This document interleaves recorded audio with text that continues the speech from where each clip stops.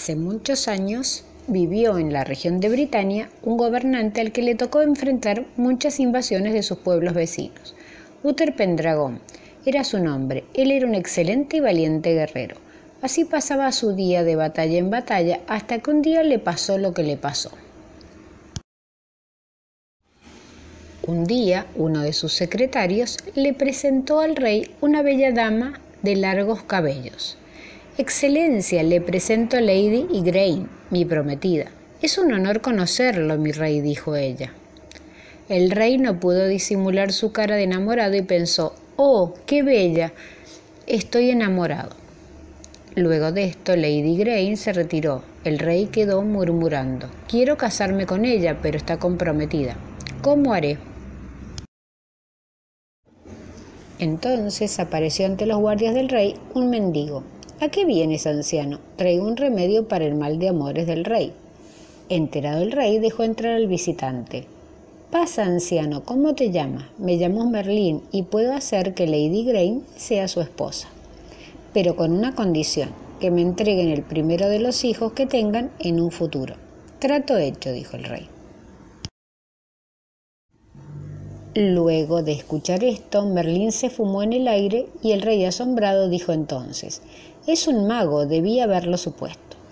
El mago Merlín fue en busca de Lady Grain y al encontrarla le dijo, el rey sabe de batallas, pero no de enamorar damas. Es verdad, respondió ella, el rey no me ha dicho nada amable.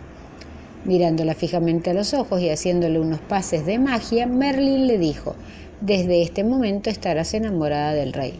Oh, sí, mucho, respondió la dama sonriente, ya lo estoy. Tres días después, el rey se casaba con Lady Grey. Larga vida al rey y la reina. El tiempo pasó y al nacer su primer hijo, el rey cumplió con la promesa realizada a Merlín. Te entregamos al niño, yo me hago cargo de él. El mago, con el niño entre sus brazos, desapareció en el aire como de costumbre para esconderse en el bosque. Se fumó nuevamente, dijo el rey. El niño fue llamado Arturo y al crecer el mago Merlín lo fue educando en los secretos del bosque y de las batallas. Te enseñaré sobre los secretos de vivir en el bosque. ¿De verdad? dijo Arturo. Años después, el rey murió. En una batalla, Arturo era un muchacho de 15 años, cuando un día, como por arte de magia, apareció una espada clavada en una piedra frente a un monasterio. La gente se preguntaba, ¿y esa piedra de dónde salió? La piedra tenía tallada una inscripción, quien alce la espada será el futuro rey de Bretaña.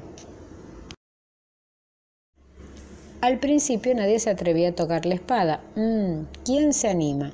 Pero muchos de los señores querían ser rey, así que uno a uno al final lo intentaron. No pude alzarla, yo tampoco. Nos damos por vencido, la espada ni se movió. En ese momento Arturo llegó al lugar y al pararse frente a la espada, Merlín le dijo, Probá a retirar la espada. ¿Quién? ¿Yo? preguntó Arturo con cara de asustado. De ese modo el joven miró fijamente la espada y la retiró con facilidad, apuntándola hacia el cielo. Oh, Arturo la levantó, viva el nuevo rey. Así Arturo se convirtió en el nuevo rey de Bretaña.